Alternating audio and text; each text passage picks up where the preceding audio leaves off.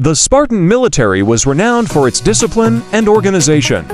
The most famous military unit of Sparta was the Spartan Hoplites, heavily armed infantry soldiers who fought in a formation called the phalanx. The phalanx was a tight formation of soldiers with shields overlapping, creating a wall of defense. This tactic made the Spartans a formidable force on the battlefield.